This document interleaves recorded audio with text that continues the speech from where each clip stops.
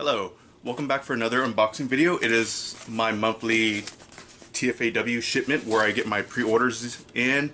Usually it's whatever I have on my pull list or any variant covers I may want. Sometimes there's pop figures in there. I'm to try to go through this really quickly for two reasons. One, it's summer and it's hot. My air conditioning is right above where my camera is, so I want to get this done really quickly so I can turn it back on. If I have it on, the audio is to be horrible.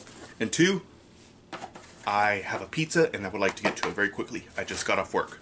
So, let's see what I got. Now, if I recall, this is a little bit of a pricier pre-order I got because I ordered a variant cover on here. Not a typical variant cover, but this was a little bit more, ah, here we go. It was a Marvel one, uh, a limited run. Okay, and of course, as always, they always include the little packing list. They mark off everything, which I always find is a nice touch by them. Okay, and this is what, this first comic I got in here, this is what really bumped up how much I paid.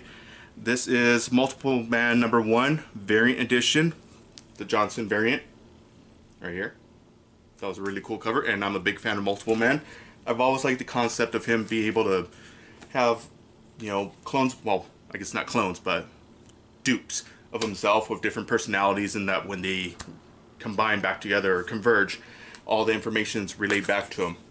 So I was thought there's so much more they could have done with that character, you know, psychologically. Yeah, okay. Of course, Ms. Marvel 31. Always getting this oversized 50th issue spectacular. Alright. Oh, okay. Wow, there's a lot of people who wrote on this. G. Willow Wilson, obviously, Rainbow Rowell, um, some others. I may have to get try to see about getting all these names signed on here. That'd be interesting. Okay, what else is on here on my list? Ah, my two Quantum and Woody comics, and of course, if you follow Quantum and Woody, you know that they have a standard cover, and they have a variant cover which is very similar to a lot of the 90s stuff where they purposely are going overboard, which I'll show you the regular cover first. Quantum and Woody. And this is their variant. Notice, you know, the shine, and if you can't really see from here, but it's embossed. You see? Right there. It's embossed. Just like a lot of the 90s covers for pretty much any series. Oh, okay. I'll get to that one a little bit. Next is Thor number one. Was this a variant cover or just, no, this is just standard. Okay, this is just a standard cover. It's still pretty nice. It's, I believe, yeah, it's Del Mundo. Jason Aaron, you know, I loved what he had done back with Thor God of Thunder, and that's what really got me to be a fan of Jason Aaron, and that's what started to get me to read Thor. Before that, I never really saw the point of Thor. I just was a big, you know, long blonde hair, buff guy with a hammer, you know. Didn't really do anything for me. He bored me. Even in the movies, it's like mildly entertaining, but the way he wrote the God Butcher storyline was incredibly well done. So, I thought I'd keep following. In. One of the things I liked about this that made me pick it up is I noticed the different hammers. So I'd really like to note the story, and I love that they're keeping continuity, how Thor lost his arm. And if you follow the God Butcher story arc, and they have King Thor in the future, he's missing his arm.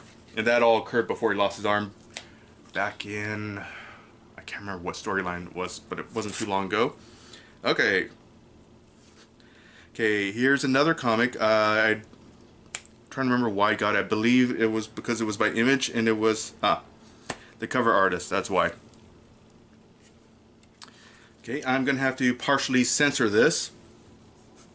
Unnatural number one, uh, the Mike Manara cover.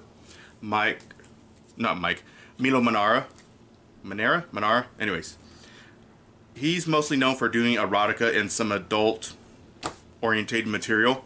There was a lot of controversy with him a few years back when he did the variant cover for Spider-Woman number one, which had her in a rather suggestive pose. A lot of the controversy arose because of the type of art he's known for, and because the comic was being geared towards women and it was a launching point. So when she was on the cover, very overly sexualized, and she was in a rather compromising pose, people took offense to it. Now the other one you can't see the cover to because it comes polybagged. Sex criminal, yeah, got a message. Sex criminals, and I tend to get their variant covers, and this is a Skottie Young one. And if it's like every other variant they send, it's gonna have nudity. Let's see if I can show this, or if it's if it's too much for me to blur out. My trusty knife. Always cut away from yourself. And I love the little inserts they always put on here. For mature readers. Duh. I'm sure whatever Skottie did for this cover is very tasteful, so go ahead and buy it. Just trust me.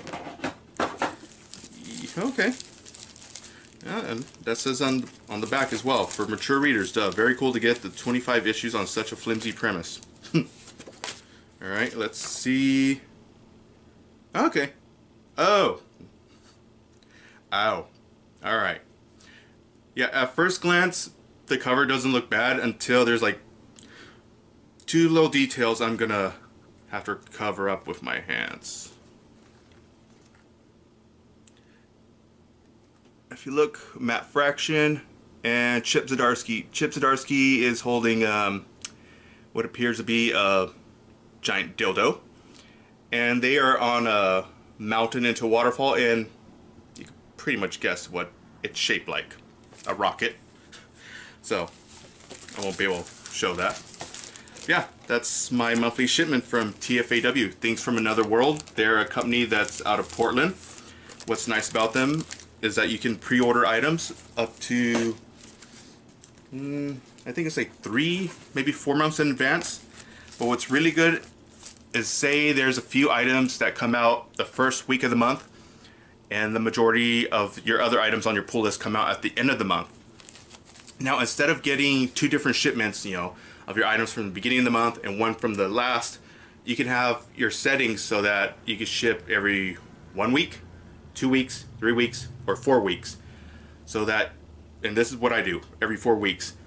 Whatever I pre-order for the span of four weeks, they just save it until it's time to ship it and they ship it all together. So I'm trying to think like, for example, I don't know when these came out, like say Thor came out at the beginning of last month and Quantum Woody came out the second week and Ms. Marvel the following week and Multiple Man the last week and so on and so on. This saves dramatically on shipping, especially if you're just getting one or two things per week. And with me, this was about one, two, three, four, five, six, seven, eight items. Now, can you imagine, you know, four or five dollars each time it's shipped, two, three different shipments. That's fifteen dollars more to pay. So, anyways, if you don't have a local comic shop, I highly recommend that you go onto tfaw.com, thingsfromanotherworld.com. They have incredibly good customer service. They're friendly. The shipments, they're pretty fast. Rarely have I had an issue. I think I've only had an issue with them twice out of five or six years, and they've always been able to resolve it. Anything I've pre-ordered, it's came in with the exception maybe two things. One was something just it was out of stock, and one other item, it's currently right now Domino number one is on back order. Hopefully that comes in, but as I'm hearing, that's really hard to get in anywhere especially since Deadpool 2 came out, so everyone's trying to jump in on that bandwagon cash in. Yeah. Gotta be on the ground floor for that money. Anyways, thanks for tuning in, and hopefully I could do these a little bit more often, and if I get any more unboxing videos or anything else to open, I could share with you. So, thank you for watching.